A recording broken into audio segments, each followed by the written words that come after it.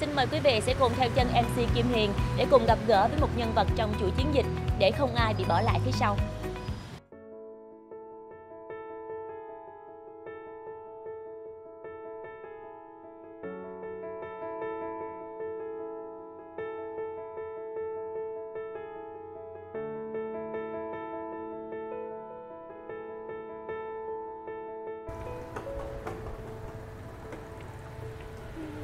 Dạ con chào cô ạ. Dạ. Dạ cô cho con một ờ, phở bò thôi nha. Dạ. Ờ, ngon quá, con cảm ơn cô. ạ. Chắc là con xin phép mời cô ngồi đây nói chuyện chút xíu cô ha. Dạ.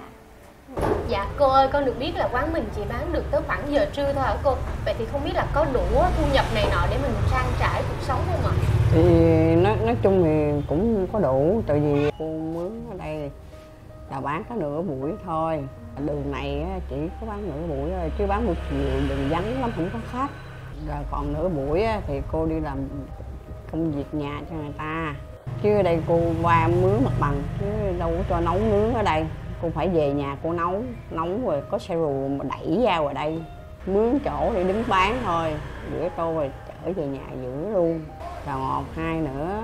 Cô còn phải nuôi cho hai đứa cháu ăn học với một thằng em bị huyết tật. Bởi vì cực lắm, giờ cái chân cô bị khớp cô đâu có đi được. Bây giờ cái kêu nhỏ gái về, nó cũng có hai đứa con nữa kêu về nó phụ làm.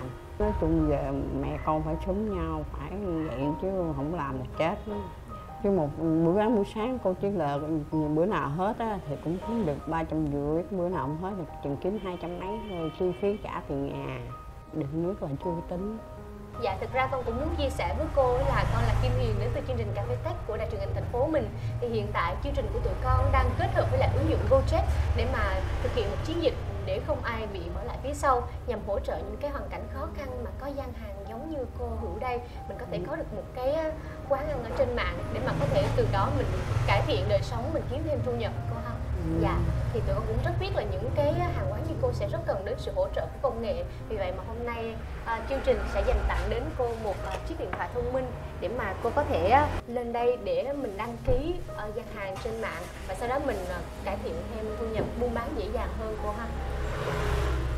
Đây là chiếc điện thoại con gửi cô ạ. Dạ.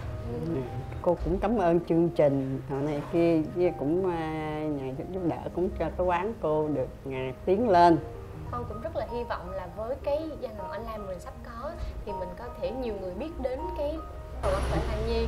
Dạ thì từ đó thì cô sẽ có thể bán mua được nhiều hơn nhanh chóng hơn và cô kiếm được nhiều thu nhập hơn để trang trải cuộc sống của mình cô ha thì bây giờ trong khi mà mình chờ các anh chị bên Gojek sang đây làm thủ tục để mà mình có được một cái quán online thực sự á, thì con với cô trước tiên con với cô sẽ cùng chụp những bức ảnh thiệt đẹp để mà giới thiệu cái món phở của mình lên trên app cô nha.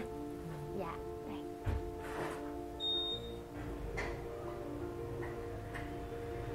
Đây cô chiếc điện thoại nha. Dạ.